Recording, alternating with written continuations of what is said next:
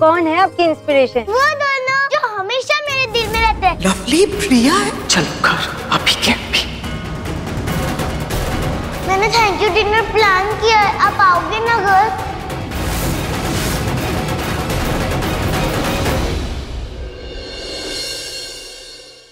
ये लो कॉन्ट्रैक्ट के papers that's the pen and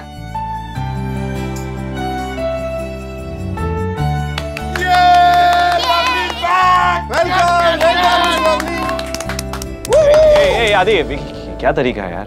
देखो बॉस हमको पीयू ने कहा था कि ऐसे सेलिब्रेट करेंगे तो कपकेक मिलेगा। हाँ और अब तो दो दो कपकेक्स मिलने चाहिए। देखो हमने डांट भी खाई ना। मिस्टर खरूस आदि अंकल और विक्की अंकल को मत डांटो मेरे कपकेक्स कम हो जाएँगे। बहुत बदमाश हो गई है ये लड़की। लवली लवली प्लीज़ अपनी बेटी को मत डांटो। एज अ बॉस ये मेरा पहला ऑर्डर है तुम्हारे लिए। मम्मा मुझे आपकी बॉस बहुत पसंद है सबसे अच्छे है।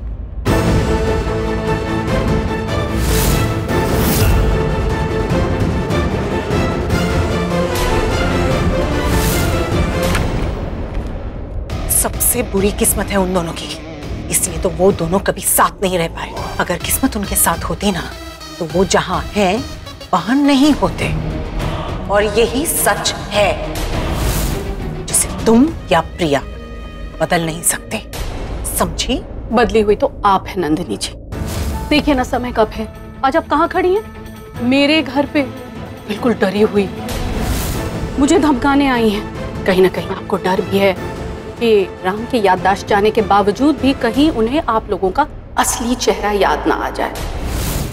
और ये तो होके रहेगा, क्योंकि राम की मीरा माँ दिन रात भगवान से यही प्रार्थना करती रहती है कि प्रिया और पीहू उन्हें याद आए ना आए, लेकिन आप लोगों की असलियत उन्हें ज़रूर दिख जाए।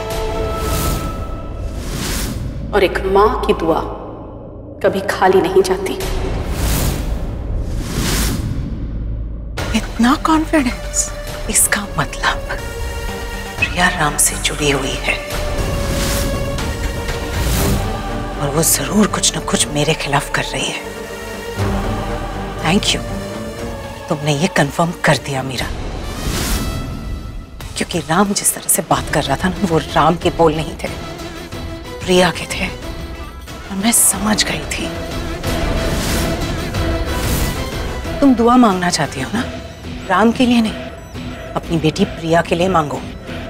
इनफैक्ट तुम्हारी बेटी प्रिया से कहो कि वो अपने कदम पीछे कर दे। क्योंकि नंदिनी कपूर से कोई नहीं जीत सकता। ना तो तुम्हारी प्रिया और ना ही किस्मत। किस्मत को समझने की हैसियत नहीं है आप में नंदिनी जी। और आज की तारीख में मेरी बेटी प्रिया आपकी कुछ नहीं लगती। तो यहाँ से निकलिए।